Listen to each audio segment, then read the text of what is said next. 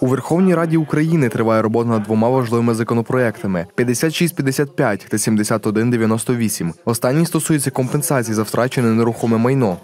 Е, Законопроектом передбачена можливість, не чекаючи репарації від Російської Федерації, е, отримувати компенсацію за зруйноване житло е, цільовим способом у вигляді житлового сертифікату, який можна буде обміняти виключно на метри квадратні. Не можна буде там отримати гроші, витратити їх на щось інше, а лише на метри квадратні.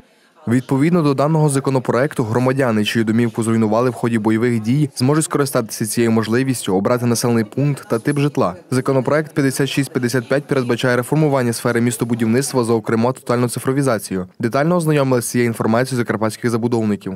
Всі учасники будівельного процесу, незалежності, чи це чиновник, чи це забудовник, чи це генеральний підрядник, чи це представник департаменту охорони культурної спадщини, вони всі працюють в єдиній державній електронній системі.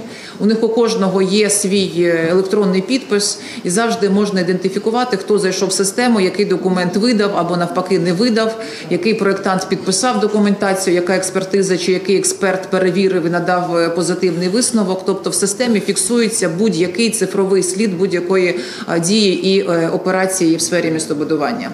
Право на виконання будівельних робіт буде реалізовуватися наступним чином. Е, Якщо у інвестора, у замовника є земельна ділянка і її право зареєстровано в відповідному реєстрі, якщо є е, надані містобудівні умови та обмеження, і вони зареєстровані також в реєстрі.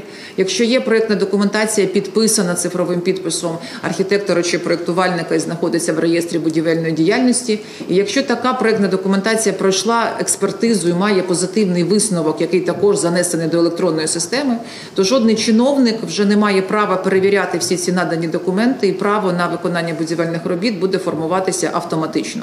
За органами місцевої влади залишається обов'язок моніторити свої території і слідкувати за незаконним будівництвом. Ще одним важливим завданням є підтримка бізнесу в сьогоденних реаліях підприємців, які продовжують працювати, створювати робочі місця і сплачувати податки. І саме ці податки ми направляємо на підтримку обороноздатності нашої держави. Весь цей український бізнес він для нас є надзвичайними героями, тому що саме від е, такого героя, як український бізнес, е, залежить наскільки швидко наші воїни, наші збройні сили України будуть наближати перемогу України над російським агресором. Перед владою постає мета знати, аналізувати і оперативно реагувати на усі проблеми підприємців. Завдання Закарпатської ОВА максимально комунікувати як з обласним, так і з релокованим бізнесом. У нас 440 підприємств релокованого бізнесу, якому потрібна завжди допомога. І тут ми, як інвестняня, повинні бути завжди поруч і надавати до- допомогу щодо е, запуску їхніх виробничих процесів, а також також пошуку працівників. Зустрічі з представниками різних галузей бізнесу планують проводити і надалі. Для того щоб донести до них інформацію щодо проєктів розвитку, які генерує в тому числі і Закарпатська обласна військова адміністрація, саме щодо розвитку індустріальних парків, технопарків, а також чим як ми можемо допомогти сьогодні не тільки релокованому бізнесу, а й нашому закарпатському для того, щоб він працював і розвивався. Питання, які сьогодні цікавлять підприємців, забезпечення електроенергією бізнесу та прогнозоване електропостачання, співпраця з податковою службою, проблеми релокованого бізнесу та інші критичні елементи, які виникають в ході ведення підприємницької діяльності.